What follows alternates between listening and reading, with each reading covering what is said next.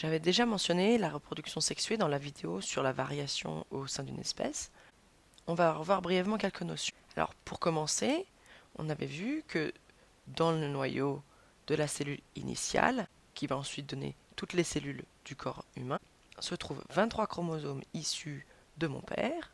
1, 2, 3, 4, 5, 6, 7, 8, 9, 10, 11, 12, 13, 14, 15, 16, 17, 18, 19, 20, 21, 22. Et le 23e est le chromosome sexuel. Donc dans mon cas, je suis une femme, donc mon père m'a légué le chromosome X, qui sont complétés. Donc chaque père est complété par un chromosome issu de la mère. Donc à chaque fois, on a un chromosome maternel. On dit que ces paires sont des chromosomes homologues. Ils portent les mêmes gènes et ça fait qu'on en a double copie. Et dans mon cas, je suis une femme, donc j'ai encore une fois hérité du chromosome X. On dit que de cette paire que ce sont les chromosomes sexuels. On a donc 23 paires de chromosomes, ce qui est égal à 46 chromosomes individuels. Et donc cette cellule qui rassemble, qui combine, et donc cette cellule initiale qui combine le matériel génétique de ma mère et de mon père, elle est obtenue par fusion donc de l'ovule de ma mère. Donc ici je représente les noyaux hein, contenant les chromosomes.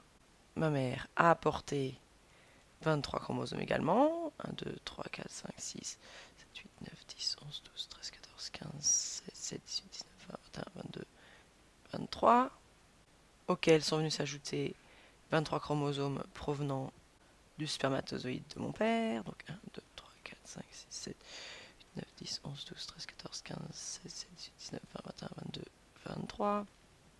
Et donc ces deux noyaux ont fusionné et ont pu donner ce qu'on appelle le zygote.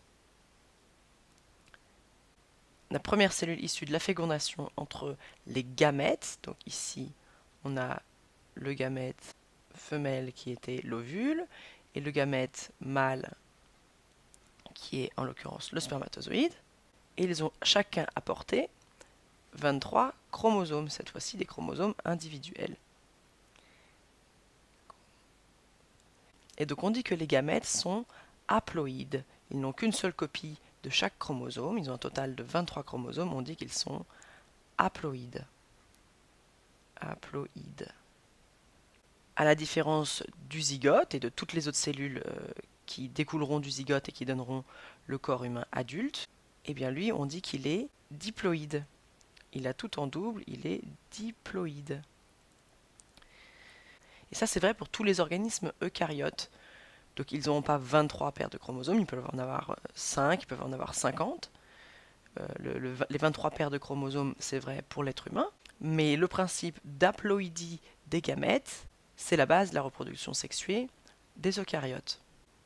Et on peut voir la notation diploïde, où on dit que la, diploïdie, c'est 2n, et on notera le nombre de chromosomes dans le cas haploïde, n.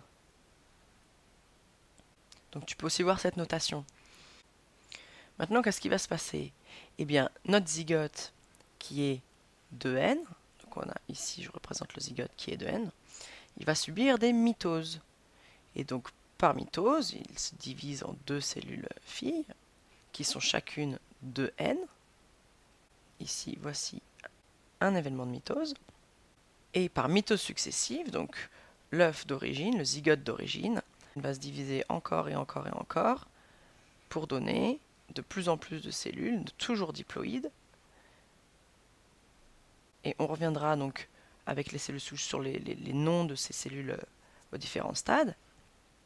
Au bout d'un moment, on se retrouve avec un nombre assez conséquent de cellules qui sont toutes diploïdes et qui, à cause des signaux reçus par leur environnement immédiat, par quoi elles sont entourées et comment elles s'organisent les unes par rapport aux autres, elles vont commencer à se différencier.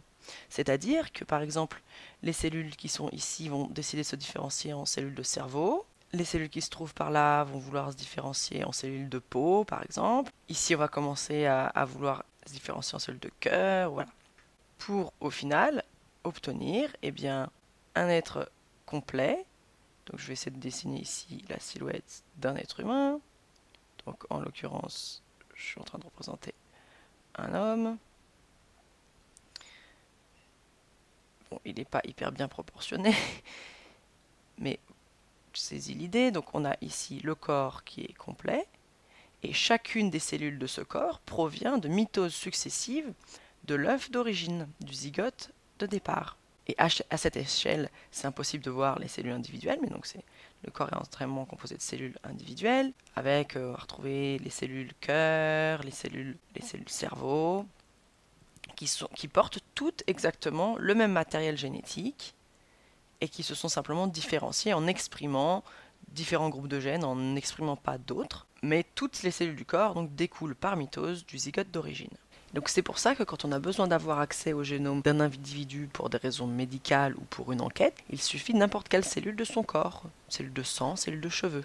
Comment, à partir de ces cellules-là, on peut obtenir les cellules haploïdes de reproduction sexuée? Eh bien, on a quelque part dans euh, l'embryon différenciation de cellules qu'on appelle germinales. Donc on va voir les gonades. Les gonades euh, masculines seront les testicules, les gonades féminines seront les ovaires.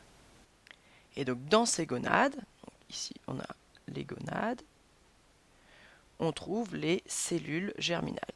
Les cellules germinales par opposition aux cellules somatiques. Le reste du corps, ce sont des cellules, cellules somatiques. Et c'est dans ces cellules germinales qu'on va voir un autre phénomène de division. Ces cellules germinales, elles sont capables, donc elles sont aussi deux N, elles sont capables de faire deux choses. Elles peuvent se diviser par mitose et donner deux cellules diploïdes également, mais elles peuvent également se diviser par méiose. Et on va voir les, différents stades de division de méiose et de mitose dans d'autres vidéos. Mais quand elles se divisent par méiose, eh bien, elles donnent des cellules haploïdes. Elles peuvent se diviser et donner quatre cellules haploïdes. Et donc ces cellules haploïdes seront les spermatozoïdes ou les ovules. Alors quand on parlait de variabilité et de mutation, qu'on disait que les mutations peuvent se transmettre, attention, si on a une mutation qui se passe sur une cellule somatique ici, elle ne sera pas transmise à la descendance, puisqu'il faut que la mutation se, retrouve au niveau du matériel génétique présent dans les cellules haploïdes. Donc cette mutation, elle peut avoir un effet ou pas, elle peut endommager la capacité de, cet être à se reproduire, si par exemple ça déclenche un cancer et qu'il meurt avant de pouvoir se reproduire, mais autrement on n'aura pas de conséquences sur la descendance. Seules les mutations qui ont lieu dans les cellules germinales, soit lors des événements de mitose à l'apparition de ces cellules germinales, soit lors des événements de méiose pour la production de cellules reproductrices, alors oui, à ce moment-là, on pourra retrouver des mutations dans ces cellules. Mais il y a déjà une sélection qui s'opère. C'est-à-dire que ces cellules-là, donc si on imagine par exemple le cas des spermatozoïdes, on en a quand même euh, plusieurs millions, en réalité entre 200 et 300 millions, qui vont devoir faire la course et être sélectionnés pour la fécondation de l'ovule. Donc ça, ça va dépendre, ils, ils ont tous leur petite ils vont tous nager vers l'ovule. Et déjà, c'est celui qui remporte la course qui va être sélectionné sur ces 200 millions. Il n'y en a que un qui va pouvoir transmettre son matériel génétique.